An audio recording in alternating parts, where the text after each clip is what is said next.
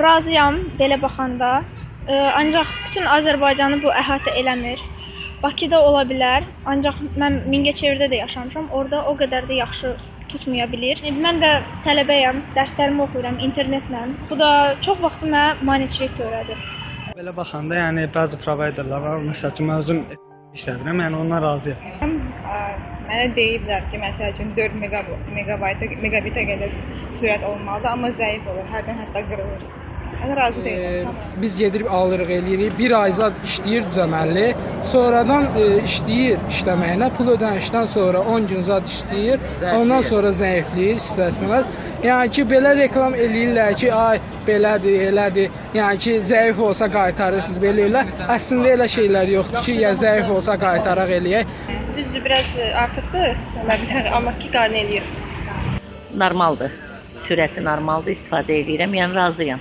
Mənə lazım olan işlərin heç birini görə bilmirəm hardasa sürətə görə.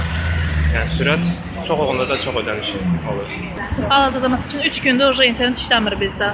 Bərbaddır. Xeyr, qaynı etmir, çox zəifdir. Yəni pulu da ödəyirik, yenə də açmırlar heç. İnternetin yəni sürəti çox zəifdir. Yəni verdiyimiz pula görə sürət bir o qədər də yaxşıdır. Saytlar falan biraz gec açılır. Həm də ki, yəni elə bilirsə məncə Facebook falan tez açılsa da yenə xəbər saytları falan biraz gec açılır. Yəni Azərbaycan xəbər saytları deyil də xarici ölkənin xəbər saytları bayağı bir gec açılır. Biraz zəifdir. 2 gündür ə, nəsə biraz zəiflik var. Amma ümumilikdə pis deyil.